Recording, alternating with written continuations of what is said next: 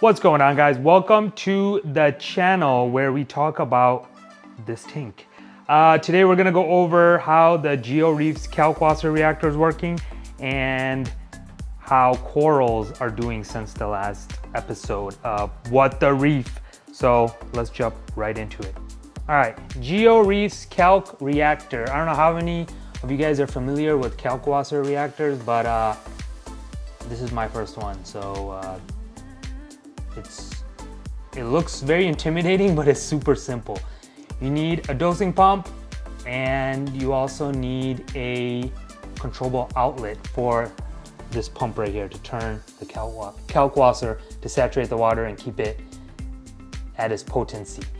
Um, pretty much the dosing pump sucks water through the ATO into here and then the out there's an out inlet or outlet, I guess, and it goes into your pump and you have to calibrate your lines and all that so you, you're getting whatever you're dosing. So very simple. Right now I'm currently dosing 60 mLs and it's right around, I just checked it, it's right at 8.3. So as you can see, it goes in, even, it's even labeled. I had this opposite when I first put on. In and then out. That's it. That's all it is. And this pump is just to stir it. So literally, if it wasn't this pump, it would just be a tank of water that's just pushing through kalkwasser. Also, something I was like kind of worried about, um, as long as this pump's not on, you can open this. Like you unscrew this and take this off. Nothing will spill over. Trust me, I uh, had to do something where I had to had these switched around and I was like, man, I got this set up and what if it overflows? But it doesn't. You just unscrew it and nothing will overfill. Just make sure you're not doing it when this is on and you're good to go. All right guys, so let's talk about what's going on in the tank. Last video, there's certain corals, certain SPS that are showing like really awesome growth. But the rest of them, the, like the ones I want to grow, they're like either not growing or growing very slow. I know SPS grow slow, but like some of these, they're, like, they're not even showing signs of growth. Two factors. One, phosphates might be too high because I was at like 0.30 or 0.33 and then I checked today and it was at like 0.41. So I'm gonna either stop the phosphate dosage or lower my feedings a bit and see what happens. Nitrate is at 17, 17-ish, which I don't think that's an issue because ever since I bumped it up to that, I've seen like better results. So it might be the phosphate. Other thing would be the tin. I don't know if tin is is affecting this, but it's super elevated. So, and I don't know where it's coming from. It could have been from that life source I was using like a lot when I first got it. So it might be from that. So I did get some of this, what is this? Uh, Cooper Sorb, Cooper Seachem's Cooper Sorb. It says absorb heavy metals. So that I got from someone on the channel that recommended it. So I put that in like a few days ago, so I'm gonna see how that goes until uh, I do my next ICP test and see if that lowers it. In the meantime, see what happens with the corals. So I guess they're like stags, green slimers, only ones I know by name. But I think those are like decently fast growing SPS.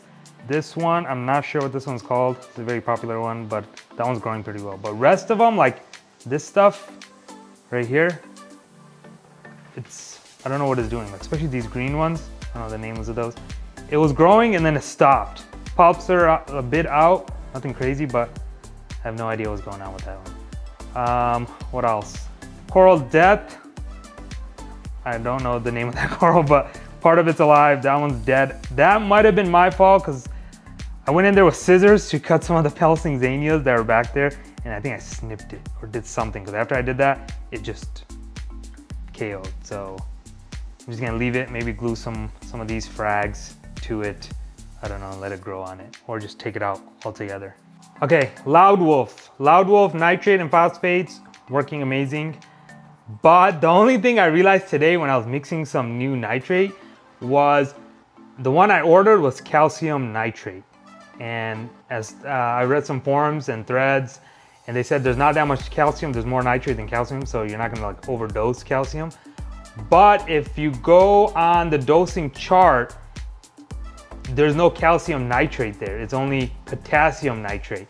So I read some other forums and they said you could use that one and it'll just be off a little bit. So I would like, if you do decide to use that, just be cautious on the dosage. Just kind of like put a little less and you won't overdose your tank. So, I mean, I didn't, I've been doing, I did it for what, last two or three weeks and it didn't, everything's been fine.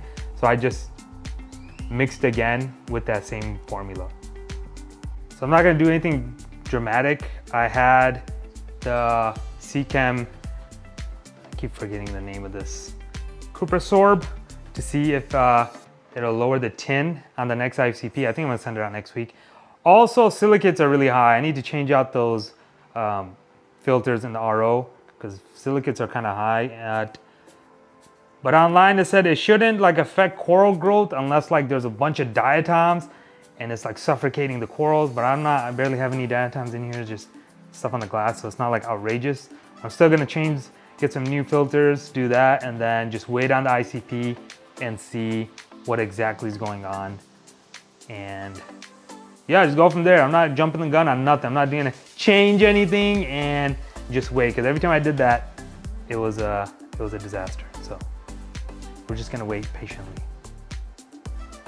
So slow growth, it could be high phosphates, high tin levels, or high silicate levels. There's three things.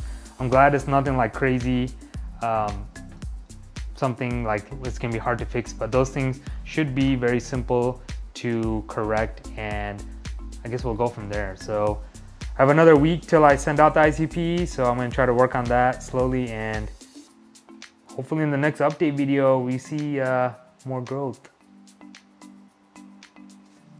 All right, guys, that is it for this episode of What the Reef. We did come a long way on subscribers since that last video, so I appreciate everyone that has subscribed. And if you're watching this and you haven't subscribed, consider subscribing. And I will catch you guys on the next